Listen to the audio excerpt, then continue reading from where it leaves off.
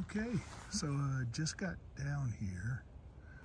Randy had called and he was down here spreading out the gravel and he got it spread all the way to the pad and all the way around the pad where my lean-to is going to go. And this weekend, he'll probably come down and gravel over this spot right here and actually clear a place right in between those trees where I'll put my camper so I can stay there while I'm down here working on it on the interior of the uh, building. But it's a 17 foot camper so it'll fit right in here perfectly and uh, then I'll be able to just drive right down here to it and camp here and you know have me a little fire pit and whatnot. But uh, yeah they got everything ready now. The uh, the uh, concrete truck is coming down on Thursday day after tomorrow.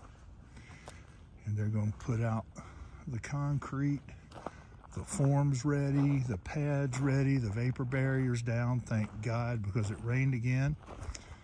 Um,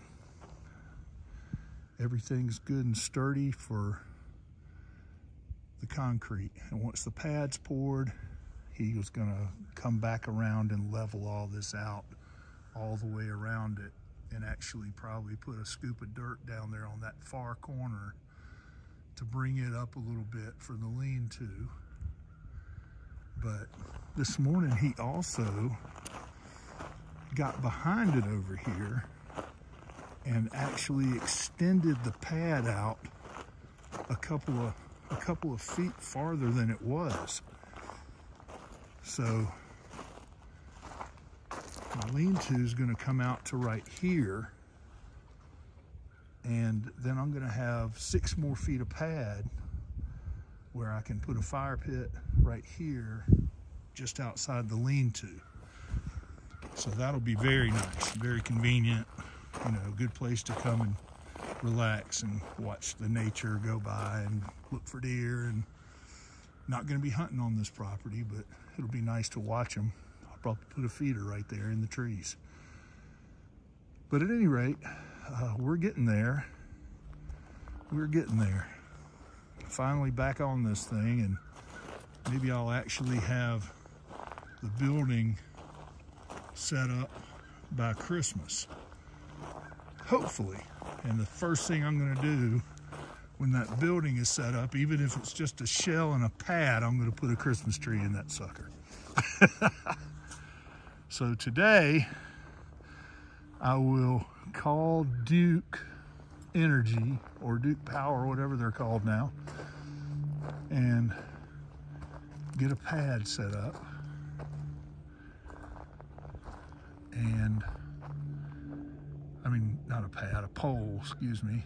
And uh, that way I'll have power to the barn and, you know, be able to come down here and camp in my camper right there and work on the tractor and work on my Jeep and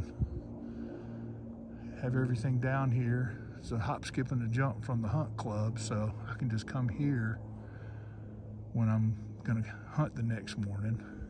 It'll be a lot more convenient.